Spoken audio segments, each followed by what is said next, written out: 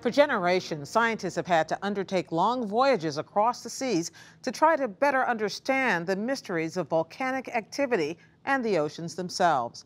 But now, scientific advances and technology have changed the game. Hari Sreenivasan has our story. What if a volcano erupted and nobody knew about it? That used to be the case 300 miles off the coast of Oregon and Washington for the undersea volcano known as Axial Seamount. But two months ago, when it started spewing lava, these scientists knew instantly. We've got 25 sensors sitting on the lip of a volcano, and it's all feeding information back here. That's right. It's really exciting. University of Washington oceanographer John Delaney is the director of a groundbreaking research project called the Cabled Array, also known as the Cabled Observatory, that has in effect turned axial seamount into the world's first wired volcano. There it is, there's the fish. Well, we're standing in our control room uh, that allows folks that are here on campus at the University of Washington to actually interact with the instruments that might be as much as 400 kilometers, 300 miles offshore. On the day of the eruption, a network of sensors on the volcano started measuring more than 8,000 small earthquakes, and the seafloor dropped seven feet. We've been waiting our whole lives to have that kind of information come in. Debbie Kelley was one of those closely watching the eruption data.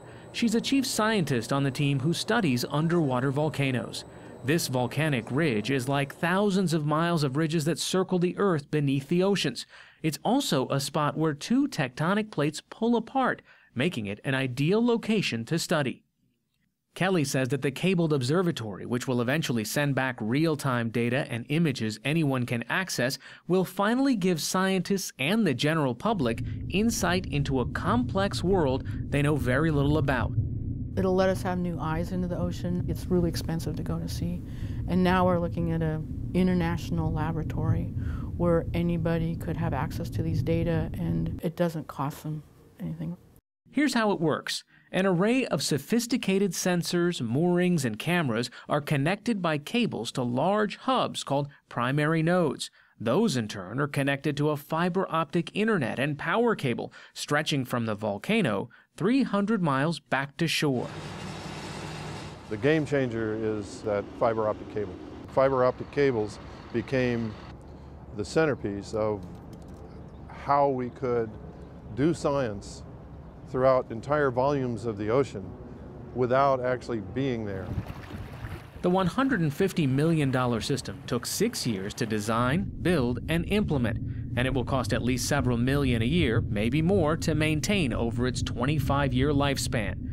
The Cabled Observatory is part of an even larger National Science Foundation funded project called the Ocean Observatory Initiative that aims to study the oceans in a more comprehensive way than ever before. The National Science Foundation is an underwriter of the PBS NewsHour. Canada has developed a similar network. The observatory equipment off the west coast has now been operating about a mile down for nearly a year. Deep sea creatures seem to have adjusted to their neighbors, but there have been some challenging moments. During an initial voyage to map the system's main cable, the team discovered a section had actually been laid on top of a boiling hot hydrothermal vent not an ideal place for a delicate cable, and it was later moved. 68, 70, 80.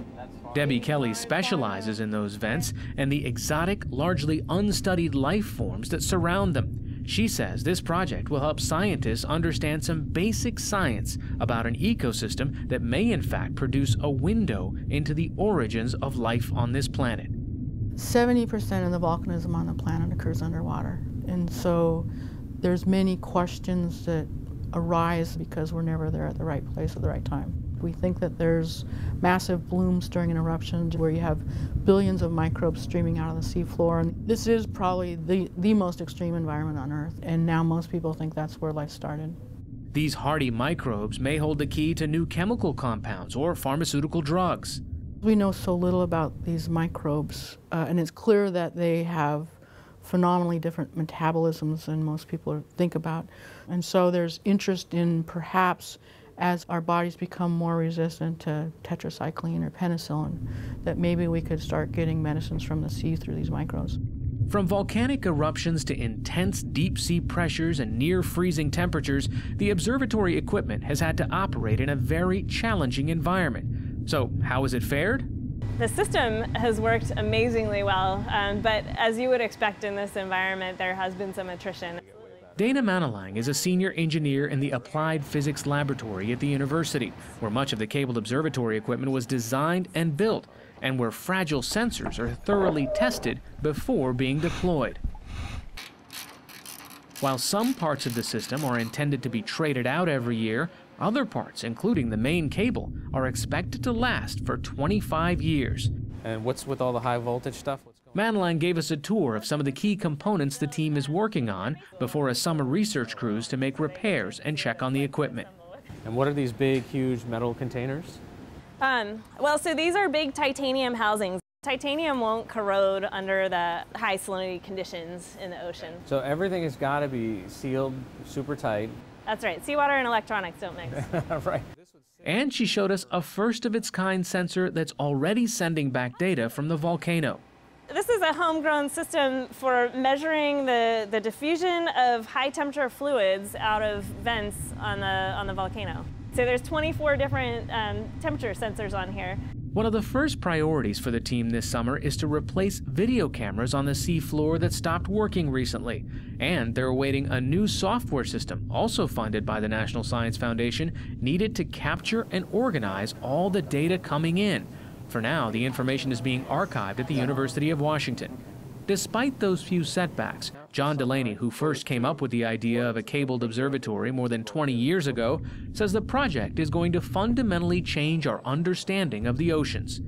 As a society, we are dependent on the ocean, and if you want to understand the complexity of all the processes that operate in the ocean, you've got to be in the ocean.